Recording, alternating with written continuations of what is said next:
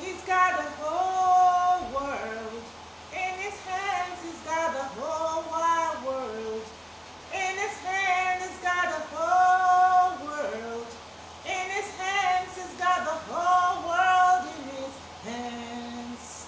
He's got the you and me, brothers. In his hands, he's got the you and me, sisters. In his hands, he's got the whole world. In his hands, he's got the whole world in his hands. He's got all of In his hands, he's got the whole world. In his hands, he's got all our sons. In his hands, he's got all our daughters in his hands. Yo, nice and decent people of the world. I guess we've come to the point where we all truly, really need to get close to God now. We need to seek God first now. We need to seek His face. We need to go on our knees, spend this quality time that you're staying at home. Spend this time to commune with your God. Spend this time to, to, to pray and ask for forgiveness of sins. Tell God to have mercy on this world. This world needs God's mercy. We need to pray. We need to pray. We need to. We not, this is not time for judgment. This is time to pray and beg God for forgiveness. Let us ask God for forgiveness. I, I truly believe that once we ask for forgiveness from God, uh, God will definitely answer us. In truth, in brokenness, in, in, in, in fearfulness of his omnipotent presence. We need to we need to fear God now. We need to beg him for mercy. We need to beg him for his his his mercy, his grace, his love. We need to ask God to please have mercy on us. Have mercy in the whole in the whole world. Have mercy, God. Have mercy. Father, please have mercy. Because initially I took this whole thing like a joke. Uh, Omo, it's an exclamation in, uh, in my country, Nigeria. When we say oh mom. it means it's serious. This is serious. This is the time we really need to say, I love you to our brothers. We need to say, I love you to our sisters. For those of you who are married, this is the time you call up your mother-in-law and say, Mommy, I love you. Because if she didn't give birth to that man, he won't marry you. So please, I beg you all, let us be in the right senses. For those of us that our children are not with us, they are not here with us. Lord, I beg you, wherever our sons are now and our daughters, Father, I beg you for mercy to, to please don't look at whatever sin that I might have committed. Protect my children. Protect my children. Put them under your coverage. Protect the children of all women whose children are not with them right now for some reason. Lord, I beg you in the name of Jesus Christ of Nazareth to have mercy on me in any way that I have erred before you. Yes, Father, I am a great sinner. Lord, have mercy on me. Forgive me. Forgive me, O Lord, my Father, my God. Forgive me for ever being angry. Forgive me for every wrong thing that I have done.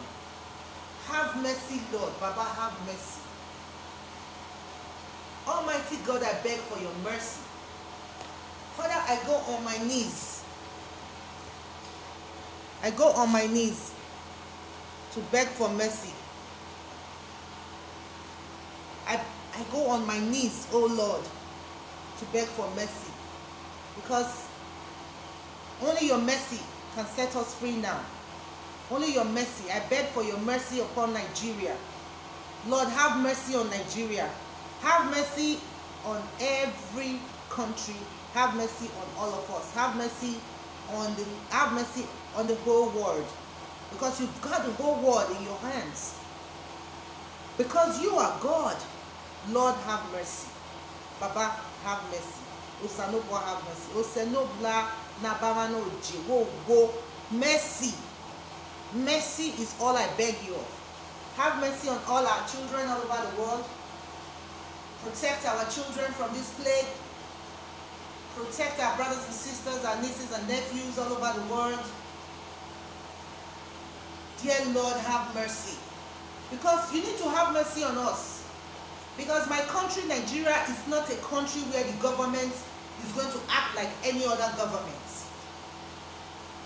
So it is only through your grace and mercy that we are going to be able to carry on in this period.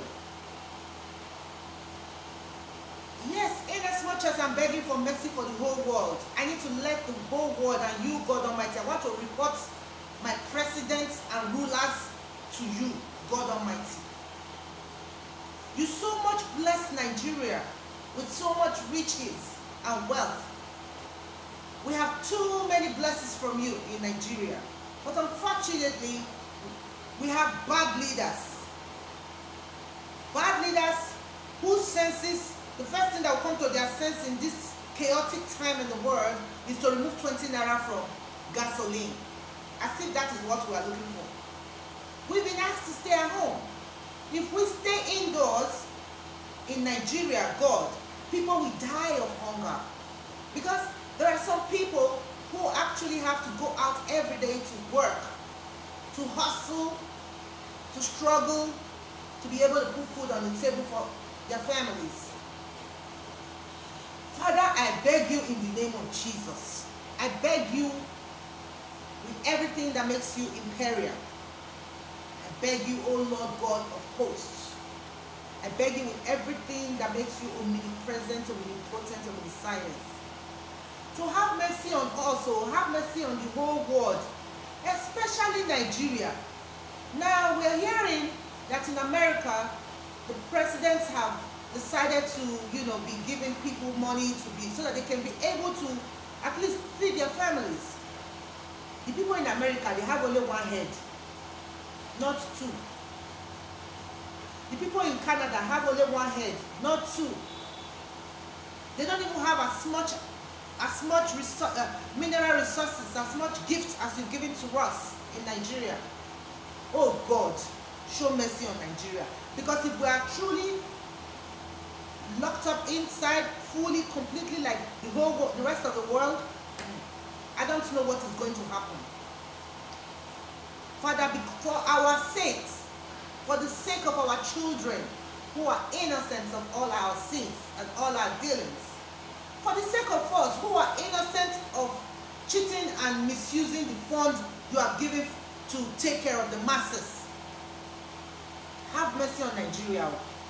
Have mercy because we don't have any leader that is going to say um, every two weeks, let's give each family 30,000 naira each, knowing how expensive things are now.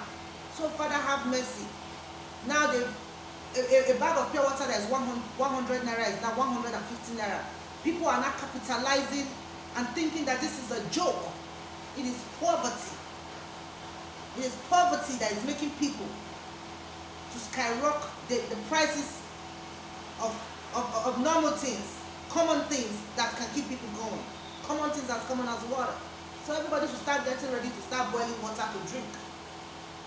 Yes, so all those kind of bottled water you are buying don't throw them away oh. save them. Boil your normal tap water if your water is already clean.